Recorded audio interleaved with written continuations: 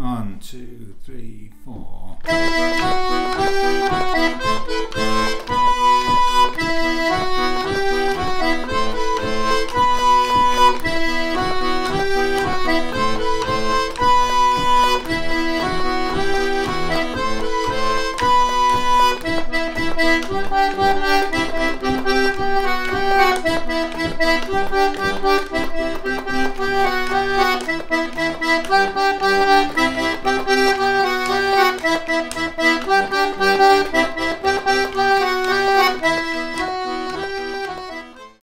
So this is the first bit.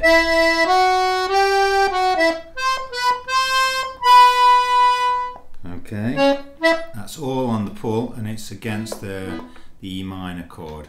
And then we push on the last note. Okay, now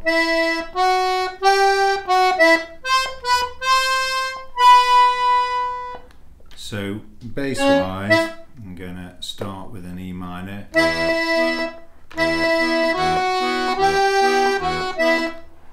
That's the E minor. And then I'm going to go across and do an A minor when I reach down for the higher note. And then end on uh, a B. So I've got the thirds out, the third stops out on this, so um, uh, it allows us to do a good, uh, the, the minor voicings.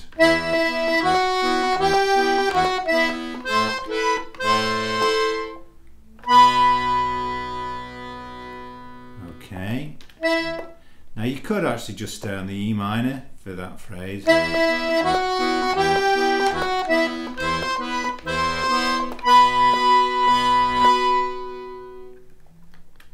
Quite good too. I, I to put the A minor in.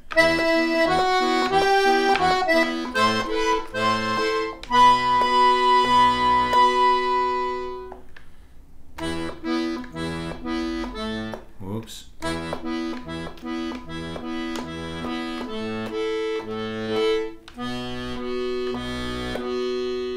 That's on the left hand. Okay, now for the second bit, uh, starting on the pull on E minor. Go over to a G on the push. And then I'm going to go to a C. Uh, now on that one, I hit both the bass and the chord together uh, with the left hand. And then uh, for the last chord, we want the B. So uh, on the right hand, that's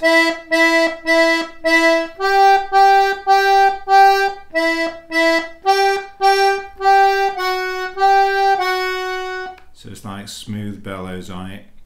E minor, G, C, B.